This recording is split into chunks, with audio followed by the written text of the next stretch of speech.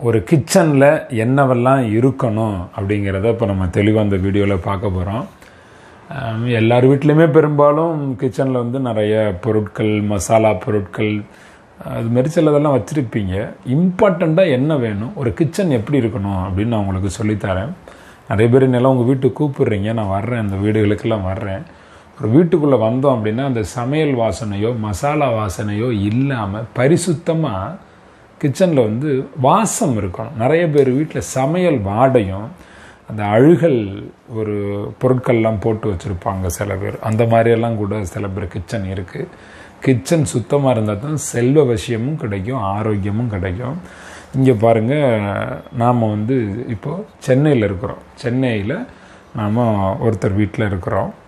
அவங்க வீட்டில் வந்து எந்த அளவுக்கு ஒரு சுபிட்சமாக இந்த இயற்கை முறைகளில் வீட்டை மாற்றி வச்சுருக்கிறாங்க கிச்சன் வச்சுருக்கிறாங்க. சிம்பிளாக எப்படி மாற்றி வச்சுக்கலாங்கிறது நீங்கள் பார்க்க போகிறீங்க இப்போது நாம் எங்கே இருக்கோம் அப்படின்னா தென்றல் ஃபவுண்டேஷனில் நிறைய நபர்களை ஃபாலோ பண்ண வச்சு நிறைய நபர்களுக்கு அறிவுறுத்தி இயற்கை உணவுகளை கடைபிடிக்க வைக்கிற விதமாக தலைமை பொறுப்பில் இருக்கக்கூடிய விமலா கணேசம்மா இருக்காங்கல்ல அவங்க வீட்டில் நாம் இப்போ இருக்கிறோம் இங்கே உள்ள பொருட்கள் எல்லாம் என்னென்ன இருக்குது அப்படின்னு பார்ப்போம். இவங்க வந்து நம்ம இயற்கை தேநீர் இதெல்லாம் குடிக்கிறதுக்கு கூழ் குடிக்கிறதுக்கெல்லாம் பார்த்தீங்க அப்படின்னா மண்ணாலான கப்பு வாங்கி வச்சுருக்குறாங்க. இப்போ இது போல் ஒரு ஒருத்தர் வீட்லேயுமே வாங்கி வச்சுக்க முடியும். பாத்திரங்கள்லாம் பார்த்திங்கன்னா கூழ் காய்ச்சறதுக்கு மண் பாத்திரங்கள் மண் சட்டி இது வந்து அதெல்லாம் கூழ் காய்ச்சிருக்காங்க. அதுக்கான ஒரு இது புதுசாக இல்லை பார்த்தீங்களா? இது பயன்படுத்தப்பட்டது. இதில் கூழ் காய்ச்சி அவங்க. குழந்தைகளுக்கு அப்பப்போ கூழ் காய்ச்சி கொடுக்கறதுக்கு அவங்க இதை வச்சுருக்குறாங்க. இது பாத்திரங்கள் எல்லாமே உணவு சாப்பிட்றதுக்கும் டீ சாப்பிட்றதுக்கும். நம்ம வந்து இயற்கை டீ எல்லாம் சாப்பிடுவோம் பார்த்தீங்களா அதுக்காக வீட்டுக்கு யாரும் விருந்தினர் இருந்தாங்கன்னா கொடுக்கறதுக்காக. அதுக்கடுத்து ஏதாவது நம்ம கஞ்சி வகைகள் கொடுப்போம். அப்புறம் நிறைய நம்ம இயற்கை உணவுகள்லாம் தர்றோம் பார்த்தீங்களா அதெல்லாம் இதில் வச்சு சாப்பிட்டுக்க முடியும். அதுக்காக அவங்க பாத்திரங்கள் வாங்கி வச்சுருக்குறாங்க. இப்போ வீடு அப்படின்னாலே நிறைய பேர் மிளகாப்பொடி இதெல்லாம் ரொம்ப அதிகமாக வச்சுருக்குறீங்க. இந்த கிச்சனை பார்த்த பிறகு நீங்கள் இந்த மிளகாப்பொடிலாம் வைக்காமல் இருப்பீங்கன்னு நான் நினைக்கிறேன். உப்பு வந்து இந்து உப்பு வச்சுருக்காங்க பாருங்கள் கண்ணாடி பாட்டிலில் வச்சுருக்காங்க.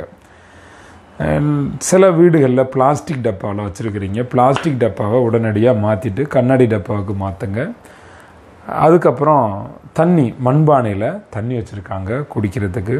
இதில் ஆரோக்கியம். எந்த பக்கம் திரும்பினாலுமே ஆரோக்கியம் தரக்கூடியது தான் பாருங்கள் கேரட்டு முளைகட்டிய தானியங்கள். பிள்ளைகள் வந்து வெளியில் போயிட்டு வருவாங்க. பிள்ளைகள் சாப்பிடுவாங்க அப்படின்னு முளைகட்டிய தானியம் எப்பயுமே ஸ்டாக்கில் வச்சுருக்குறாங்க. ஸ்டாக்கில் எப்பயுமே இருக்குது குழந்தைகளுக்கு வந்து நம்ம ஆற்றல் நிறைய வேணும் அப்படிங்கிற போது இதுபோல் ஊற வைக்கப்பட்ட தானியங்கள் முளைகட்டிய தானியங்கள்லாம் கொடுத்தோம்னா ரொம்ப நல்லதுங்க. எப்பயுமே எல்லா வீடுகள்லையுமேங்க எது இருக்கோ இல்லையோ வீட்டில் தேங்காய் வேணுங்க. தேங்காய் ரொம்ப ரொம்ப முக்கியம். நீங்கள் உணவு இல்லைன்னு சில பேர் நினைப்பீங்க. சமைக்கலையே நம்ம என்ன சாப்பிட்றது? எல்லோரும் பசிக்குதுன்னு சொல்கிறாங்களே அப்படின்லாம் சொல்கிறீங்கல்ல உடனே ஒரு தேங்காய் உடைங்க தேங்காய் சில்லு சில்லாக கீறி கொடுத்துருங்க சாப்பிடுங்க பசி தாங்கும். தேங்காயை துருவி போட்டு அதில் மிளகு சீரகத்தூள் போட்டு கொடுங்க. தேங்காய் துருவி வாழைப்பழம் போட்டு பிசைஞ்சு கொடுங்க. தேங்காய் துருவி பால் எடுத்து பாலில் எலுமிச்சம்பழம் பிழிஞ்சு விட்டிங்கன்னா அது மோர் மாதிரி வந்துடும் அற்புதமாக தேங்காய் பால் மோர் தயாரித்து கொடுக்கலாம். உடனடி உணவு. இது தேங்காய்னு சொல்லுவோம். இது தென்னங்கனி இதுக்கு பேர். ரொம்ப அற்புதமானது. தேங்காய் எல்லார் வீட்லேயும் எப்போதுமே இருக்க வேண்டிய ஒரு உணவுப் பொருள். அப்புறம் பார்த்திங்கன்னா ஒரிஜினல் தேன் நல்லெண்ணெய் இது எல்லாமே. இது வந்து ஒரிஜினல் தேன் வச்சுருக்குறாங்க. தேன்லாம் வந்து நம்ம ஒரு இனிமையான ஒரு உணவு இந்த உணவு தேன் வந்து எப்போதுமே கெட்டு போகாதது. உடம்புக்கு ஹீமோகுளோபின் அளவை அதிகப்படுத்தி தரும். நம்மளோட பிளட்டை பியூரி பண்ணக்கூடியது. ஒரிஜினல் தேன் வாங்கி வச்சுக்கணும். அதுதான் ரொம்ப முக்கியம். ஈரோட்டில் வந்து மலர் சில்க்ஸில் ஒரிஜினல் தேன் கிடைக்கிது. வாங்கி பயன்படுத்துங்க.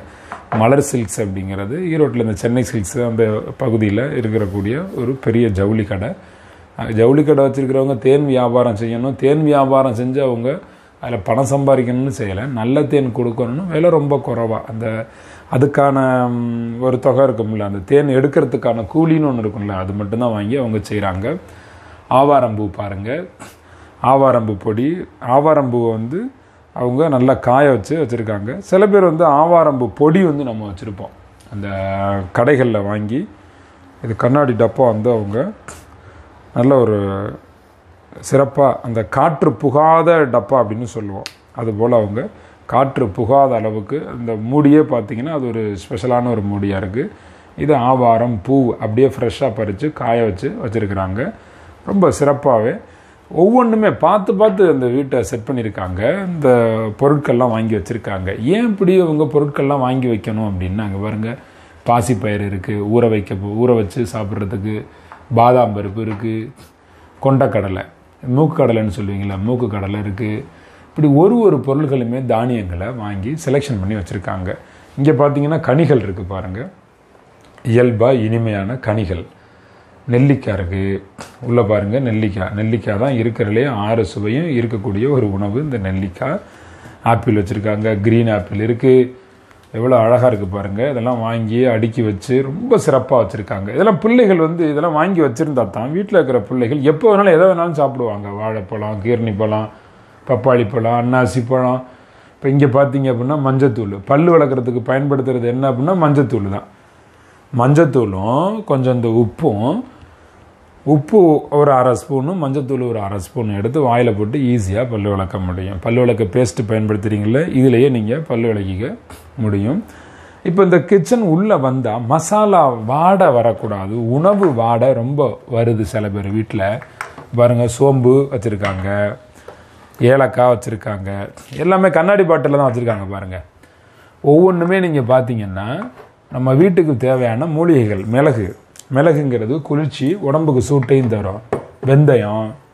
வெந்தயம் வச்சுருக்காங்க பாருங்கள் அடுத்து கடுகு இருக்குது இது எல்லாமே நம்மளோட இயற்கை உணவு தயாரிப்பில் இது எல்லாமே நமக்கு பயன்படும். இதெல்லாம் மூலிகை பொருட்கள். இது எல்லாமே வந்து உணவு சாப்பிட்றதுக்கு பயன்படுத்தக்கூடிய மூலிகை பொருட்கள். இப்போ நம்ம வீட்டிலலாம் பார்த்தீங்கன்னா பாட்டிகள்லாம் என்ன பண்ணுவாங்க? காசு எடுத்து வெந்தய டப்பாவில் போடுவாங்க மிளகு டப்பாவில் போடுவாங்க. ஏன்னா இது குளிர்ச்சி. குளிர்ச்சியான இடத்துல காசு வச்சா வளரும் அப்படின்னு கிச்சனில் வந்து இது போல் இடத்துல காசு வச்சுருப்பாங்க. உங்களோட கிச்சனையும் இது போல் மாற்றுங்க இயல்பாக இனிமையாக மாற்றுங்க கட்டிங் போர்டு நிறைய பேர் பிளாஸ்டிக்கில் பயன்படுத்துகிறீங்க இது போல் மரத்தில் பயன்படுத்துங்க. நல்ல உயர்ந்த தரமான மரத்தில் உங்களுக்கு கட்டிங் போர்டு எங்கே கிடச்சாலும் பயன்படுத்துங்க. இது கட் பண்ணும்போது இதில் இருக்கக்கூடிய தூள் எப்படியும் உணவில் கொஞ்சமாவது கலக்கும். கலக்கும். இப்போ தூசி எல்லாம் இருக்குது பார்த்தீங்களா அந்த மாதிரி இது.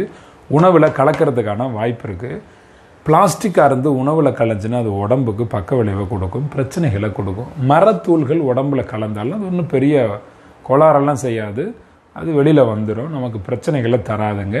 அதனால் கட்டிங் போர்டு வீட்டில் வச்சுருக்கிறீங்கள கட்டிங் போர்டு சாப்பிங் போர்டு இதெல்லாம் வீடுகளில் மரத்தில் உடனடியாக மாற்றுங்க அதுதான் ரொம்ப நல்லது. இவங்க இங்கே மரத்தில் தான் வச்சுருக்குறாங்க. ரொம்ப சிறப்பாகவே ஒவ்வொன்றும் பார்த்து பார்த்து அவங்க ஏன் இதெல்லாம் வாங்கி வச்சுருக்காங்க அப்படின்னா வீட்டில் இருக்கக்கூடிய நபர்கள் சொந்தக்காரவங்க வீட்டுக்கு வந்தாலும் சரி கணவர் மாமனார் மாமியார் அப்பா அம்மா பிள்ளைகள் எல்லாருக்குமே ஆரோக்கியம் வேணும். பெரும்பாலும் வந்து சமையலறை அப்படிங்கிறது பெண்களோட கையில் இருக்குது ஒவ்வொரு நேரத்துலையும் நீங்கள் நல்ல விதமாக யோசித்தா மட்டும்தான் நன்மைகளை அடைஞ்சிக்க முடியும். நன்மைகளை அடைஞ்சிக்கணும் அப்படின்னு சொன்னால் நல்லதாக யோசித்து இது போல் கண்ணாடி பாட்டிலில் மாற்றணும் பிளாஸ்டிக் டப்பாவில் விடுதலை கொடுத்து கண்ணாடி டப்பாவுக்கு மாற்றணும் கிச்சனை எப்பயும் பரிசுத்தமாக சுத்தமாக வச்சுக்கணும். அக்னி தேவன் நம்ம தொடணும் அப்படின்னு சொன்னால் இப்போ அக்னி தேவனை வந்து தொட்டு நீங்கள் அடுப்பு பற்ற வைக்கிறீங்க. அடுப்பு பற்ற வச்சாக்க பெண்கள் குளிச்சா தான் அடுப்பு பற்ற வைக்கணும். ஆண் பற்ற வச்சாலும் சரி பெண் பற்ற வச்சாலும் சரி அடுப்பு பற்ற வச்சா அக்னி தேவனை தொடும்போது குளிச்சிருக்கணும் முதல்ல. இந்த கிச்சன் எவ்வளவு கிளியராக சுத்தமாக இருக்கோ. கிச்சனில் உள்ள பொருட்கள் எவ்வளவு சுத்தமாக இருக்கோ அந்த அளவுக்கு என்ன ஆகும்னா உங்களுடைய ஆரோக்கியம் மேம்படும் மைண்டு நல்லா இருக்கும். ஒரு கிளியரான ஒரு சமையல் அனுபவம் உங்களுக்கு கிடைக்கும். சில பேர் சமையல் உணவுகள் அதிகமாக சாப்பிடக்கூடிய பழக்கம் வச்சுருப்பீங்க சைவமாக அசைவமாக அந்த டேஸ்ட்டு வரணுன்னா கூட உங்கள் சமையல் அறையில் மிளகு பொடியை நீங்கள் வைக்க ஆரம்பிங்க மிளகாயை குறைக்க ஆரம்பிங்க. இதுதான் உங்களுக்கு மேன்மை தரும். உப்பு இந்துப்பு பயன்படுத்த ஆரம்பிங்க. கிச்சனை சிறப்பாக இது போல் மாற்றி கண்ணாடி பாட்டிலுக்கு மாற்றுங்க நீங்கள் உங்கள் கிச்சனை இது போல் சிறப்பாக சிம்பிளாக மாற்றுவீங்க அப்படிங்கிற நம்பிக்கையில் உங்களிடமிருந்து விடைபெறுவது தென்றல். நல்லா இருக்கணும் நீங்கள்